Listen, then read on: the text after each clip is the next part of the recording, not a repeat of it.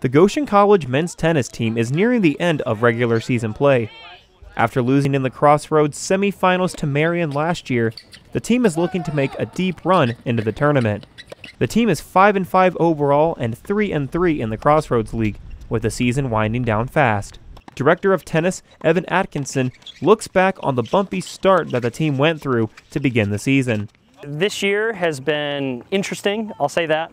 Uh, came into our camp with some injuries that were kind of lingering. I felt like our practice sessions weren't really as fulfilling as we'd like them to be, so we're kind of growing into our season. We're still fighting off some of those injuries. Uh, we're competing in all of our matches, but we haven't won the big ones that we've needed to. So, so tomorrow's a big one against Huntington, and, and hopefully from here on, we will kind of hit our stride. I, I like where we're headed, especially on the doubles path.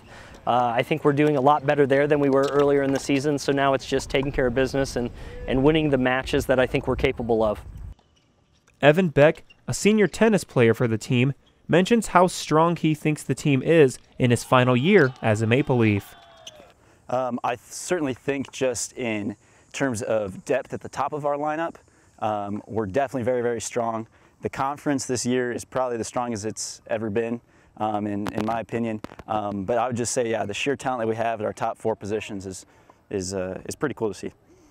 While injuries have been a problem, Atkinson still sees the high talent and potential that his team can achieve throughout the rest of the season. I think our fitness in general is a priority on this team. Obviously, we've dealt with uh, some injuries, like I've like I've stated before, but but I think um, this year our talent is very high. I think we get better every single match, and uh, we have the potential to be the most talented team that I've had in these four years. Beck has always been a competitive player, but this season, he wants to focus more on enjoying the matches and savoring each moment as the season ends. Um, my main focus was um, just trying to play with some with some joy and just uh, just really enjoy it. Sometimes um, in the past, I've gotten a little hung up on, on wins and losses, but here, you know, it's just an opportunity just to come out and hit some balls and, you know, just, even when it's not going well, just have the joy that, you know, you're out here and you're just, just playing tennis. While Evan may be graduating, Wesley, Evan's brother and freshman at Goshen, will be the next Beck to come into the tennis program as Evan teaches him what it's like to be a part of Maple Leaf tennis. Um, just doing everything the right way, taking care of your body. Um, being a leader is a big thing, just in, in the way that you conduct yourself on the court um, and in the classroom. Um, and so I'm excited to see what, uh, what he can do. Both Atkinson and Beck agree that the goal is to win the conference championship, but it will take small steps throughout the season to accomplish this goal.